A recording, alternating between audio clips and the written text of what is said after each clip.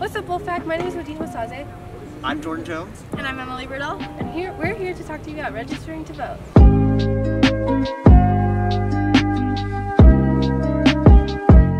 Are you 16 or 17? Yeah? Okay, then you can register, pre-register to vote. Are you going to be 18 by next November? Yup. Then you can vote in the next election. That's great. If you want to re- pre-register to vote, you need your driver's license or a social security card or and social security card. You need your address, you need your birthday, and you need to be at least 16 years old. Voter registration will be held on November 5th. In both lunches. So come and vote. Register to vote. Be Or there else. or be square. Be there.